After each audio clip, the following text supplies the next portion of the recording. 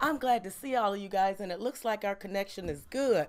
All right, if it's your first time joining me, welcome. I go by the name Tor- Tornado. I come in to educate and hopefully inspire healing of the mind, body, and spirit that may have been damaged from abuse related traumas. Those of you that are with me normally Monday through Friday, welcome back. I hope y'all had a wonderful day. I really did. Busy day, um, had some different changes that pop up, but you know, you just go with the flow when things pop up, right? Oh, okay, on the 28th, we got Joan until the 28th. All right, I can harass you uninterrupted, right? Until then, because we know that connection. But you know what? We're not even going to speak that out. It's going to be a good connection over in Trinidad. It's going to be no problems for you to tap in and stay connected with the Standing in the Gap family and catch um, the Periscope replays because I know you will be busy over there. Those of you um, that aren't familiar with Our Children, the Future, that is Jones Foundation. She's doing some wonderful, wonderful work out in the uh, California area. Go check out the website. It's Our Children, the Future. It, it's a wonderful organization, you know, and drop a little something in the donation bucket and tell her, Tornado sent me. Just, you know, go click that little boom, that little donate button, right? This is the season for giving. It, it really is. You know, a lot of people are sitting around making their list about, I want this, I want this. Me, I sat and I made a giving list. And I actually stopped today. I walked in a store and I got so excited because I saw socks. Yeah, you say socks. I say I got excited because it was six pair for a dollar twenty-five. And I said, this is perfect to go in the token of love bags that mail started. It was actually part of the initiative for last month. But those are great little um actually I can reach them. They're right here, right? So a dollar twenty-five, six pairs of socks. So this I can put this in six bags with a little wash uh, cloth, which works out perfect because the washcloths that I bought they came in all the colors. So I can put the matching washcloth with the matching color on the socks. Isn't that just awesome? Put the five dollar bill in there with the little travel toothpaste, um, and keep them, you know, with me. So when we're out and I see somebody that's in need, um, hand them out, right? So we call those the token of love bags. So I was so excited to add, check, mark something off my giving list of supplies because that's what I'm doing for the holidays. And at some point this weekend, I got to go and get me a couple of bands, right? A couple of little bands because you got you got to keep them during the holidays. Get you a band of ones, fives. Hey, if you can do tens, twenties, and hundreds, grab you some bands, some stacks, and keep them with you. That way you can just hand it out and just make it rain during this season. Just give, give, give, right? So let's hop into it. Hey, Sarah, where you been, girl? What's going on down there in Florida? They holding you captive? I ain't seen you in a minute. But let's get into it tonight. We're going to talk about a father of many names, right? And if it's your first time, we call it share evangelism. You click those three little dots. That's how you spread the word and share it out and tell people that tornado's on again, right? So tonight, we're going to talk about a father of many names, right? There's oh, the list is so long, right? And, and, I'd like to hear some of the, you know, names that you guys use to refer to our Father, right? But what I'm going to do, I've went through some of the scriptural texts and just all throughout the text, there's just hundreds Sarah's Business School has me captive, but I graduate next month. All right, I'm going to be praying on that for a successful graduation. Prayer warriors, intercessors, make sure you keep Sarah on the list and pray for a smooth graduation. I need to send out a box of hats and scarves. Hey, Karen, I, I still got you um, on my list uh, for incoming supplies. So anytime you're ready to send it out, you let me know. And especially during this holiday season, those will be great to go off into the token of love bags as well, right? Um, so I welcome it. And, you know, on the website, Tornado Teaches, which way is it? Yeah, tornadoteaches.com, the address for the P.O. box, everything is right on that site. If you also want to do it monetary, if you go to the site, there's a button that says donate. You just hit boom. Or if you want to be real, just keep hitting it a couple of times. Boom, boom, boom. Just, just, I ain't till your finger get tired. Hey, hey, Hey, I, who am I to stop your giving, right? I, I, am not going to get in the way. Donate as much as you like. You can also go over to Fuel by Hope Ministry. She does the same thing. Our sister Mel, go check out her website. If you want to boom, ping that donate button. Tell her Tornado sent me over here to give a little something. No amount is too small, right? Um, so we're talking about a father of many, many, many names, right? One of the first ones that I came across, right? Um, you know, we, we the common names, you know, we have Yeshua. Hey, Mother Clark. Um, you know, Jehovah Jireh, you know, God, you know, there's just so many names for a gracious God, you know, because there's so many dimensions to our Father, right? But as I'm going through Malachi 4 and 2, it refers to him as a healer, right? And this is the time you guys know I, have really been diving in, talking about the importance of prayer. And at the end, we're going to tie some of these into a prayer to show you how to go through and you can honor him with these names in prayer, right? So if you look at Malachi 4 and 2, it speaks of our Father as a healer. It says, But to you who fear my name, the Sun of righteousness shall arise with healing in his wings, and you shall go out and grow fat like stall fed calves. Our Father is a healer. We know it, we still see it today. A lot of people like to say, oh, he's not in the healing business no more, he's not in the blessing business. Mm-mm, I just, uh, mm-mm. That's not how any of that works in this camp because I see too many miracles day in and day out. He is still in the healing business and the blessing business, right? Because you can't tell me that is nothing but our Father, our healer, right? As Malachi 4 and 2 says, when someone goes in and they have a tumor one week that's the size of two baseballs put together on their spine, they have somebody to pray, pray, pray, pray, pray, pray, pray. I mean, praying it out over them. And they go back, and the doctors uh, scratching their heads saying, I don't know what happened? I don't know where that went, but it's gone. What showed as a tumor, that I, there is no signs of it. So our God is still in the healing business. Amen. Another name that our Father goes by, the Redeemer, right? Let's look at Isaiah 59 and 20. That's Isaiah 59 and 20. And I know we move through these kind of fast, so don't worry. You guys know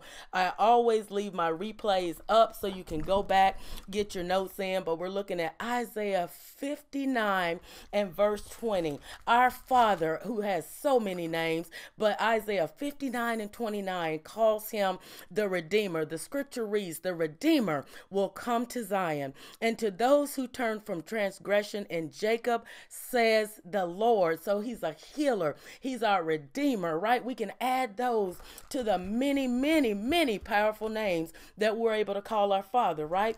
If we look at Psalm 70, and 5 Psalm 70 and 5. And I have all of them. Right, Sarah? Our Redeemer lives. I have all of these marked so I can get to them nice and easy. Psalm 70 and 5, right? Refers to him as the deliverer, right? So the healer, the Redeemer, our deliverer. You know, no matter what we're going through, you know, uh, nowadays it seems like everything has to have a, have a label. You know, you have to fit into a box. You, I just got to slap a label on. You got to be something. And I'm like, you can call me whatever you want. Just call me a child of God. Just make sure you put that in there somewhere since you got to slap a label on. And if you're going through something, right, He can deliver you from that. Let's look at it Psalm 70 and 5. But I am poor and needy. Make haste to me, O God. You are my help and my deliverer. Oh Lord, do not delay. Amen. That's ooh, that's a prayer in itself. If you can't pray nothing else, Psalm 70 and 5, just rock, get into the worship and pray that over and over uh, and just worship to him. But I am poor and needy. Father God, make haste to me. Oh God, don't delay in coming to me. You are my help and my deliverer. Nobody can bring me through this storm but you, Father God. Oh Lord, do not delay with deliverance upon my life. Oh, that's a prayer in itself right there. I'm telling you. So we went through, He's our healer, He's our redeemer, He's our deliverer, He's also our strength. We can call Him my strength, right? And since people like to put labels on everything, and you know, somebody says, Well, tell me a little bit more about this God. You know, well, what do I come? You said, You know what? I call Him my strength because if we look at Psalms 4 43 and verse 2. Pop over there. Psalms 43, verse 2. For you are the God of my strength. Why do you cast me? Hey, Mama Moses, why do you cast me off?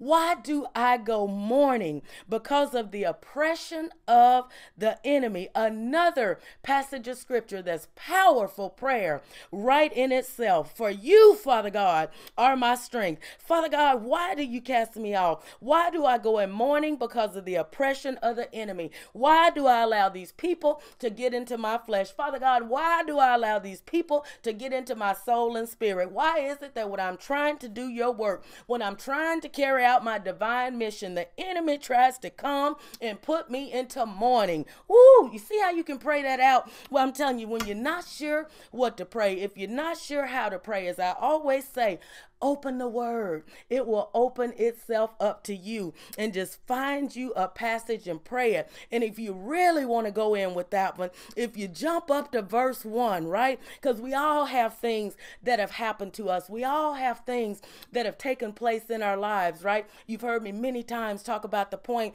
where all I could sit and think about was vindictive, evil, you know, revenge after going through almost 19 years of molestation, then being raped, you know know, the constant bullying from elementary school all the way up into just about halfway through high school. So all I could think about, ooh, revenge. One day, one day, I'm going to get my revenge. But when we get into the word, welcome, Kingdom Ambassador, that just happened in my house. Why am I always being attacked when I do good? You go right to Psalms 43 and verse 2. But then, if you want to just power that thing up, call it the power up verse. Add uh, verse 1, Psalms 43 1 and 2. Vindicate me, O God, and plead my cause against an ungodly nation. Deliver me from the deceitful and unjust man, Father God, for you are my God of strength. Why do you cast me off? Why do I go and go mourning because of the oppression of the enemy? Father God, remove these people from me, for they do not understand.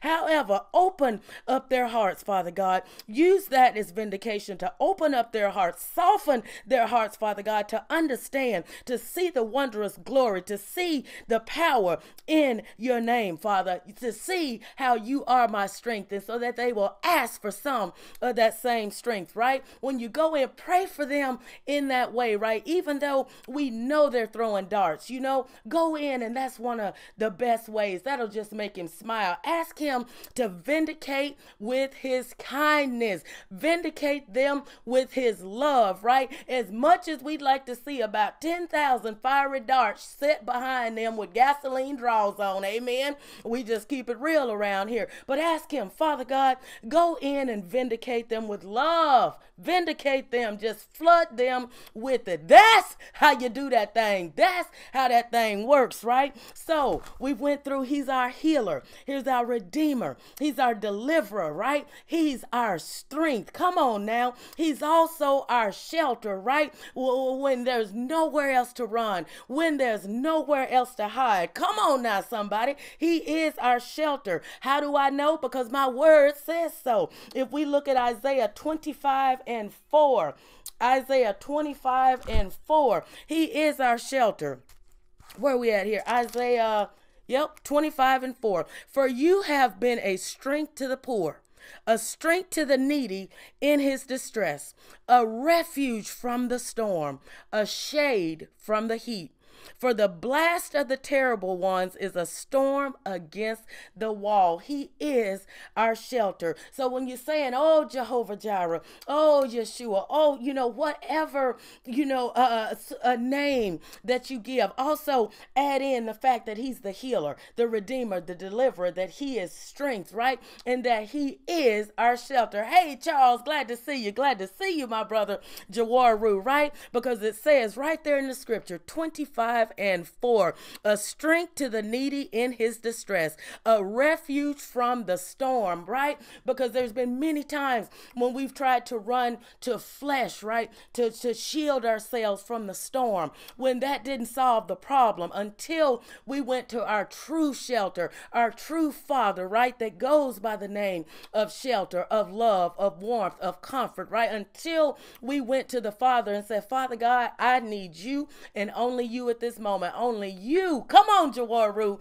That's all. Oh, that's 3,208 people. That's gospel evangelism right there, sharing it out, right? Going to Him as that shelter. Because a lot of the time, you know, we can look not just as flesh for shelter. Sometimes we try and run to that bottle of Jim Dandy, that bottle of Jim Beam, that bottle of Wild Turkey, right? We want run to that wacky tobacco as the shelter, right? We figure that'll cover our minds enough to take away that pain, that guilt, that shame, whatever it is that we're going through. It'll calm that worry. You know, it'll cure secure that peace. No, that doesn't do it. Because when all of that stuff wears off, he's still sitting and waiting and saying, Come on, Come on, I am the shelter that you need. The bottle can't do nothing for you. Those drugs won't do nothing for you. That man, laying with that man, ain't gonna make you feel any better. You're gonna feel worse when you get up, as a matter of fact. Laying with that woman ain't gonna make you feel any better, my brother. You still gonna feel the same until you get up. But now, when you go to the Father as shelter and as covering, yes, that was me, but God, mm, come on now, come on now. And let me go back back since I got my notes. I want to pull in again First Corinthians 6 and 9 as we're going through and calling him all of these glorious names the healer, the redeemer, the deliverer, our strength, right? Our shelter. Remember, no matter what you've done, no matter what you've done, again, as I said, I went through 19 years of molestation, sexual abuse, then raped, and then bullied. All of that built up a lot of anger and hatred towards people. Sometimes I'd get a little, sometimes I'd get a little uh, well, a lot out of kilter, right? You know, like sometimes I would need a Snickers. Y'all know that commercial say I wasn't myself until they ate a Snickers. I at one point in my life I needed to eat a whole lot of Snickers because I was not myself, right? Turning to homosexuality for 20 plus years from that, right? Because what men had done to me, I didn't want anything to do with men. But God saying, No, it's time for deliverance, my child. It's time for you to come out of this, right? So when you look at First Corinthians Corinthians 6 and 9, and you may say, But I'm not worthy of him being my deliverer. I'm not wor- worthy of him being my redeemer. I'm not worthy of him being a healer for me. The devil is a lie. That's what the enemy wants you to believe. But our scripture tells us in 1 Corinthians 6 and 9, Don't you realize that those who do wrong will not inherit the kingdom of God? Don't fool yourselves. Those who indulge in sexual sin or who worship idols, commit adultery, male male prostitutes or practice homosexuality, or are thieves, or greedy people, or drunkards, or are abusive, or cheat people. None of these people will inherit the kingdom of God. But this is the part that they leave out in the pulpit. Pastors, my bishops, I'm talking to y'all. This is the part that you need to add in. Instead of throwing people out of your church into the streets, right? Instead of throwing them out, not showing them the love, continue the passage. Pick it up at verse 11, 1 Corinthians 6 and verse 11. After you read them and condemn them and convictualate them with 6 through 9, bring them home. Bring them home to the Father, to the healer, to the deliverer, to our shelter, to our living water. Bring them home with verse number 11, bishops, pastors, whatever name you want to go by, evangelists, whatever title you want to claim. Bring them home with 1 Corinthians 6 and 11. Read it to them and tell them, some of you were once like that.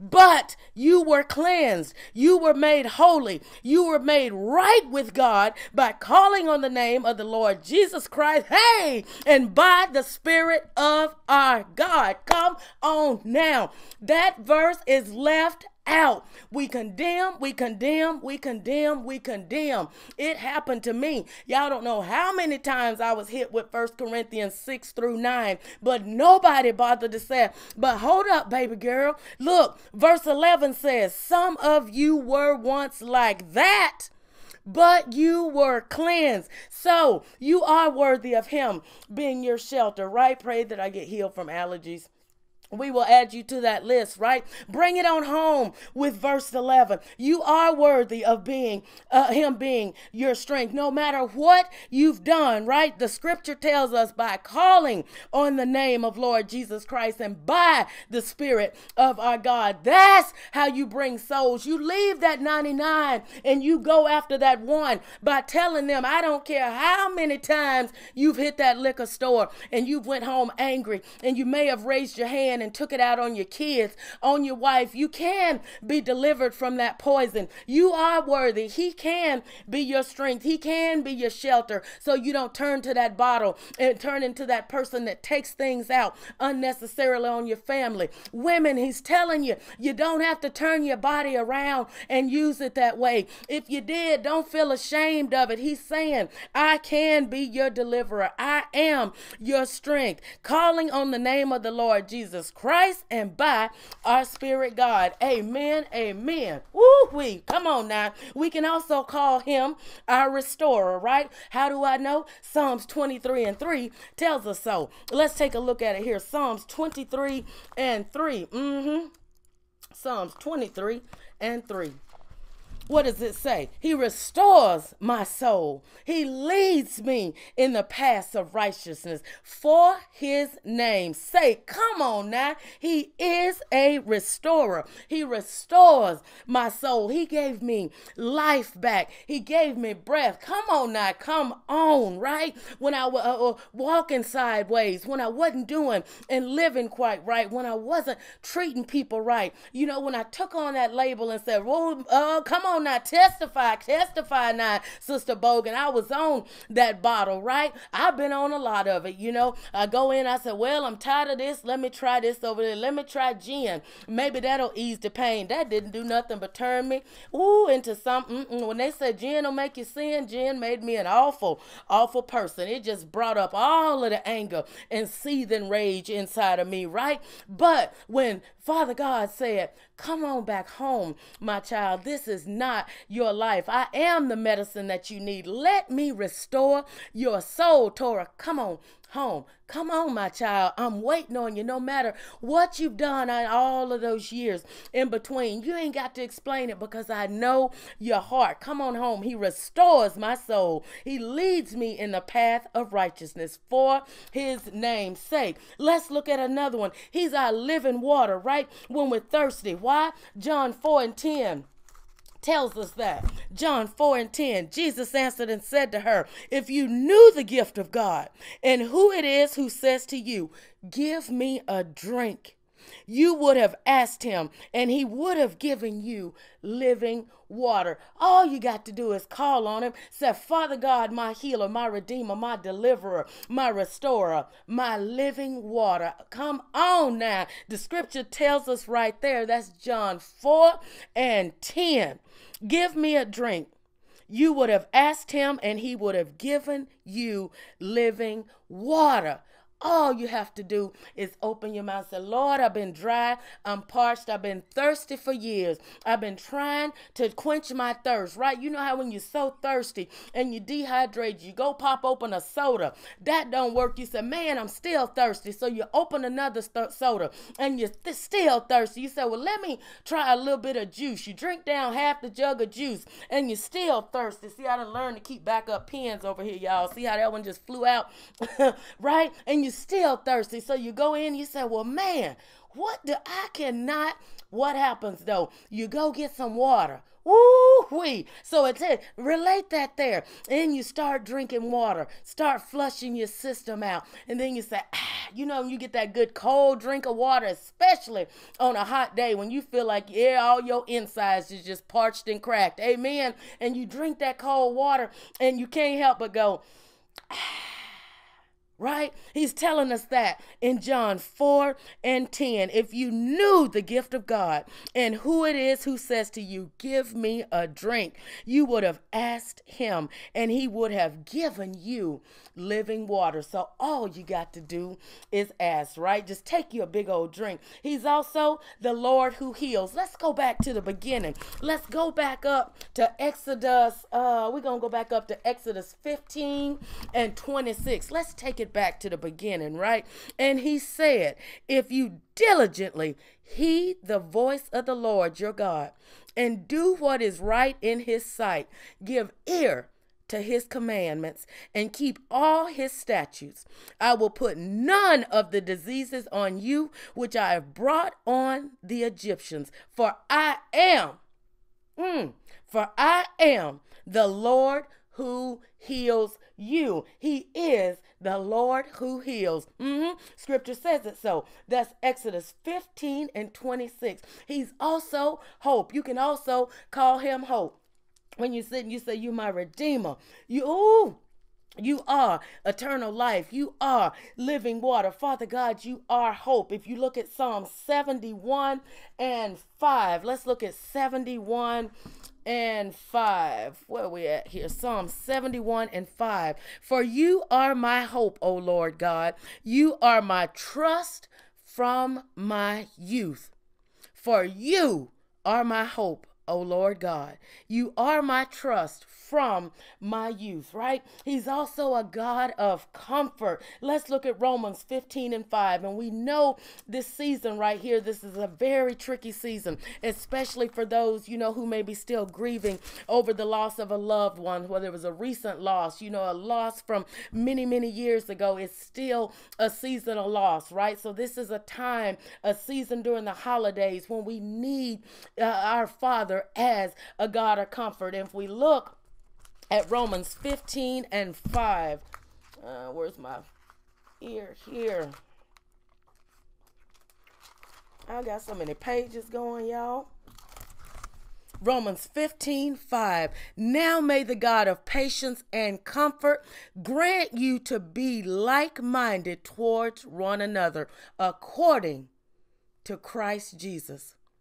Now may the God of patience and comfort grant you to be like minded towards one another according to Christ Jesus. So during this season, Think about those people, right? You may be surrounded with a bunch of family. When you're in the checkout line with them 1900,000 carts, ask that cashier, are you going to be with family for this holiday season? Invite somebody in. Even offer, are you going to be working maybe on the holiday? Because we know a lot of places don't call down. Pack up a couple of plates and actually take, you know what? I'm going to bring you a little something, right? Take care of people during this season. Check on them, right? We know this is a time when people you ever heard from the other uh 300 plus days of the year. But during the season, a lot of people will start calling the check. But right, start checking on people and make it a point to regularly do that, right? It only takes a minute to send a text message to stop what you're doing, right? And say, How you doing? Just checking in. Or one of the things, you know, if you say, Well, man, she a talker. She may want to talk for two hours. The way I do it, if I know I don't have a lot of time, hey, Mel, hey, I um, I'm just calling to check in, Richard, real quick, just to see how you doing. You all right? You good? Just lead out with it like that, and then say, you know what? Maybe I get back. You know, get back. I just wanted to check in, which I ain't trying to hold you, but I just wanted to check. That's how I lead it out. I ain't trying to hold you, but check in with people during this holiday season, right? Our Father, and let's throw in one more here. He is a resting place. Let's look at Jeremiah 50 and 6. He can also go by the name of resting place. Jeremiah 50 and 6. Uh-huh. Here we go. My people have been lost sheep. Their shepherds have led them astray. They have turned them away on the mountains. They have gone from the mountain to the hill. They have forgotten their resting place right there. He is a our father he is a resting place right? So we can call him a healer a redeemer a deliverer our strength our shelter our restorer that living water right? That quenches that thirst that nothing else out in that world can quench right? The lord who heals uh, he's hope. He's our god of comfort right? I found that a lot of seniors are depressed and lonely. Yes you know if you have time pop in you know uh, check on the seniors you know invite them over, you know, if they're able to get out. But if not, stop by and check on them. Take them a little something, especially, you know, if they have family that's maybe not able to come into town what was it on Facebook? I saw the that was a few days ago, and I saw the video where the uh the oh, it was a older grandpa, and he faked his death to get all of his family to show up. You guys seen that? And when they walk into the house, you know, all in tears, thinking you know that he's gone and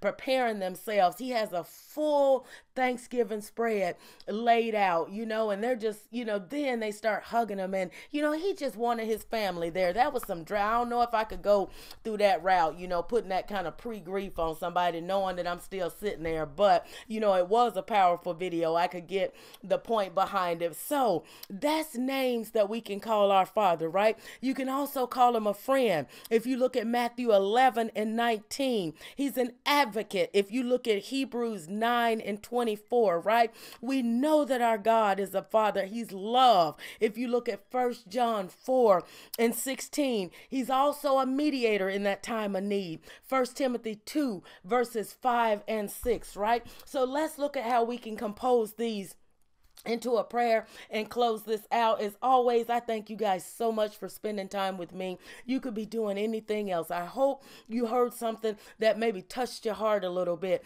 that maybe opened, you know, maybe changed your focus to say, hmm, I want to know a little bit more about this. I want to do a little bit more research. I'm going to go back, as I always say, and check these receipts. And I, you know, I always say, don't just take my word for it. Go back and check it, right? Because you know, though, I don't add to it, I don't take from it. I give give it the way God gave it to us. I read it straight from the word, right? Let's look at this, right? Let's take this into a prayer. If we take all of these names that we call our Father and see how we can form and mold this, because I'm really about and really stressing the importance of prayer, praying for others during the holidays, not just for ourselves and our want. Come on, Joan. Joan says, He is my strong box. Come on now. That's what I'm talking about. So let's look how it would look here if we were to compose these into a prayer. You know, Father God, Lord, I draw close to you today, Father. Grateful that you will draw close to me. You have promised in your word, Father. I long to dwell in your presence, and my desire is for a deeper and more intimate relationship with you, Father God. I want to know you in every way, Father, every way that you can be known. Father, teach me what I need to learn in order to know you better, Father. I don't want to just be a person who's always learning and never able to come to to knowledge and understanding of the truth that is you, Father God. I want to know the truth about who you are because I know that you are near to all who call upon you in truth, Father God. I am open, Father, to whatever it is that you want to do in me, whatever works that it is that you have for my life, whatever divine assignment that you want to send me on, Father God. I don't want to be limited, Father, by you. I don't want to limit you, Father God, and your purpose in my life by neglecting to acknowledge you in every way possible. Father, I declare to you on this day that you are my healer. Father, you are my deliverer. You are my redeemer. You are my comforter, Father God. You are my shield, Father. You are my helper. You are the living water that quenches my thirst, Father God. You are the Lord who heals my, all of my wounds, Father. You are my hope, Father God. You are my God of comfort, Father God. Thank you, Father. Thank you. Hallelujah. Oh, thank you, Father God. Today, Father, I especially need to know you, Father God. Today, I need to know you as the tower of safety, Father God. I believe you will be that to me and in covering, Father God. God, help me to set aside time each day to meet with you alone, to spend quiet time just getting to know you, Father. Enable me to resist and eliminate anything that would keep me from that task. Teach me to pray the way you want me to pray Father God. Help me to learn more about you. Lord, you have said, if anyone thirsts, let him come to me and drink. Father God, I thirst for more of you because I am in a dry place without you, Father God. I come to you on this day and ask to drink deeply of your spirit. Father God, I lay all of these things at your feet in the throne room, Father God, and I ask all of these things in your Son, Jesus' name, now and forevermore. Let us say amen, amen Amen. That's how you compose that into a prayer. All of those different verses all of those different scriptures. Just go in and pray the word back, as I always say. Pray the word back. And it just gives me such peace. It gives me such comfort giving him his word back because we know the scripture also tells us his word and his promises don't come back to us empty. It does not come back to us void, right? It fills us when it comes back. It helps to keep us on these divine assignments that we know that we're on. It helps us to keep that strength when the enemy tries to come, when opposition tries to come, right? It keeps us strong. I want to know God better and open to you, Lord. Yes, yes, I love you guys. I hope you heard something tonight that helped you out. If you heard something and you thought of somebody, add them to your prayer list, right? You don't have to go into work tomorrow. You don't have to go next door and say, you know what, I'm going to pray for you. That's not how any of this works. Just add them into your list. Stand in the gap for them. Pray on their behalf, right? Remember, go back to the scripture and ask the Lord, vindicate me, oh God, but vindicate vindicate them with love, vindicate them with passion, vindicate with the, vindicate and show them that you are a God of comfort, that you are a healer, that you can deliver, and that they can be redeemed. All right, until tomorrow night, guys. I love you. I love you. I started writing my prayers out too. It's called Pray the Word, Give His Word Back. Yes, yes, I do that all the time. I do it all the time. And another reason I like to write those out because sometimes when people, you know, they bring situations, you know, and they say, and one of the first questions I say, Have you prayed about it? Have you talked to God about it? You know, and as I taught with the different prayer watches, you may need to be praying. You may um, need to intercede during this time. You may be assigned this prayer watch, you know. So there's so many different things that go into it. So by writing them out, you know, I'm able to pass them along and say, pray this prayer, pray this word, especially, you know, for people that I'm just not sure what to play. I don't know anything about them scriptures, you know, because I know for me, it was intimidating picking this 66 books up, getting back in and saying, my gosh, where do I start? I just don't know where to begin, right? So when that person comes to you a lot of the time, oh, you don't know the Bible? Didn't you at least learn the Psalms when you was in? No.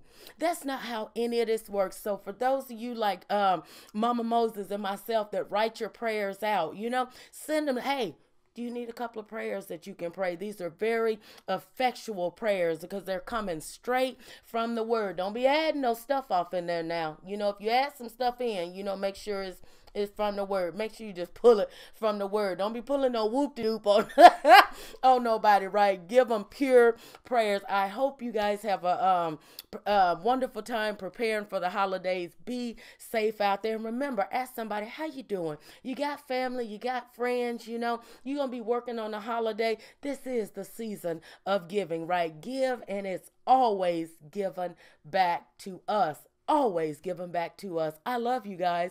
Walk good, do good, be good. ToraNado, I'm out. You all know the Tora. Tora. Tora.